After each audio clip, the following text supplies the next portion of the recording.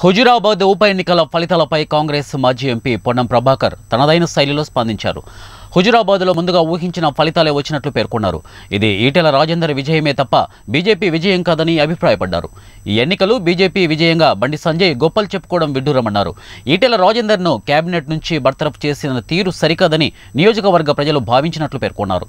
అలాగే హుజురాబాద్ పోరు టీఆర్ఎస్ ప్రభుత్వం వర్సెస్ ఈటెల రాజేందర్ సానుభూతిగా జరిగిందని ఆయన వ్యాఖ్యానించారు. బీజేపీ నేతలు దుబ్బాకలో పనిచేసినట్లు హుజురాబాద్లో ఈటెల రాజేందర్ కోసం గట్టిగా పనిచేయలేదని పొన్నం ప్రభాకర్ విమర్శించారు. ఈటెల రాజేందర్ కూడా బీజేపీ పేరు చెప్పి ఓట్లు అడగలేదన్నారు. కాంగ్రెస్ అధిష్టానం ఇకనైనా బహిరంగ సభల ద్వారా ఓట్లు వస్తాయనుకుంటే పొరపాటేనన్నారు. ఈ విషయాన్ని గుర్తించాలన్నారు. అలాగే నియోజకవర్గ స్థాయిలో పార్టీ బలోపేతానికి చర్యలు తీసుకోవాలని కూడా సూచించారు.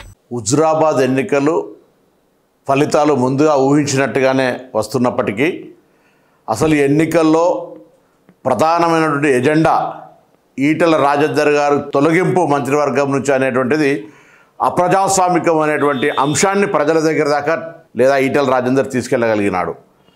టీఆర్ఎస్ పార్టీ దళిత బంధు ద్వారా కావచ్చు ఆ నియోజకవర్గంలో ఉన్నటువంటి ఇద్దరు ముగ్గురు కార్పొరేషన్ చైర్మన్లు ఇవ్వడం కావచ్చు కాంగ్రెస్ పార్టీ గత అభ్యర్థిని చేర్చుకొని ఎమ్మెల్సీ పదవి ఇవ్వడం కావచ్చు ఇవన్నీ కూడా టీఆర్ఎస్కి వ్యతిరేకంగా తీసుకున్నటువంటి నిర్ణయాలు అక్కడ ఉండబడేటువంటి కార్యకర్తలు అంతా కూడా దీన్ని జీర్ణించుకోలేకపోయినారు.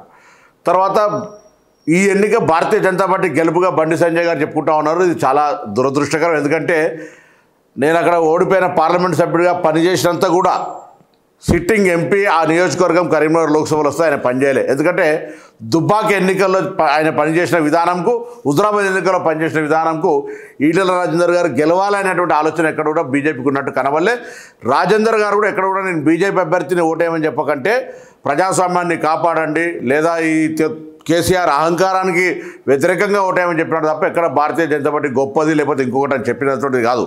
ఇది సిరఫ్ బై సిరఫ్ ఈటల రాజేందర్ గారి గెలుపు. ఎస్ కాంగ్రెస్ పార్టీకి ఓటమిని బరాబర్గా మేము ఊహించిందే.